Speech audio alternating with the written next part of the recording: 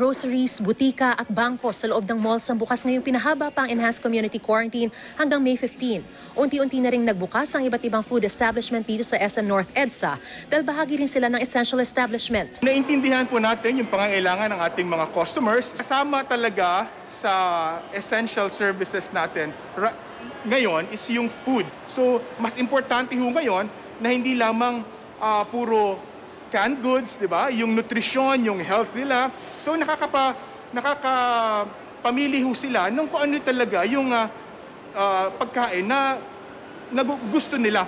Sa ngayon, 23 kainan na ang bukas dito sa loob ng mall. Pero hindi pa rin pwede ang dine-in. Take-out at deliveries lang ang tinatanggap.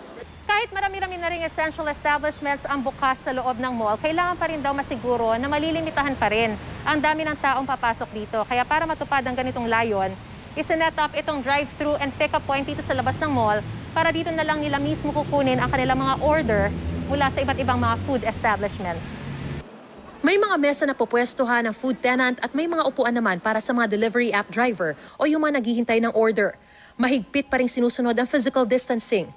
Ayon sa pamunuan ng SM Malls, posibleng gawin na rin nila itong ganitong sistema kahit ma-lift na ang ECQ. The centralized hub or the centralized drive-through and pickup station namin will not only be uh, for the remainder of the ECQ. Ano? In fact, this is this will be part of our new normal here in the mall, wherein customers can transact uh, outside of uh, each tenant uh, via uh, those delivery apps. Mga delivery app riders natin could have this ease of uh, transaction.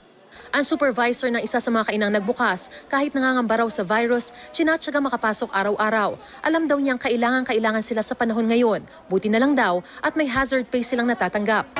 sistema po namin eh, wala po kaming, hindi kami makapag-rest day po kasi dahil kulang po sa manpower sa amin. Wala tayong pambayad ng mga, ano natin, payment natin, bills sa bahay, sa kuryente, mga ganun po. Sa, doon sa mga food, ma'am. Maganda rin po na kahit papano may open na ganitong establishment. Katulad sa amin na nagtatrabaho.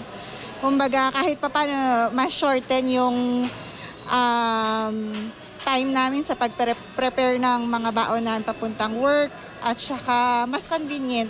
Kahit naman nagbukas na ang mga kainang ito, pangako ng pamunuan ng mall, hindi pa rin sila pagbabayarin ng renta hanggang hindi nalilift ang E ECQ. Ang iniisip po din natin is not really yung uh, business aspect nito, but instead, it's really public service eh.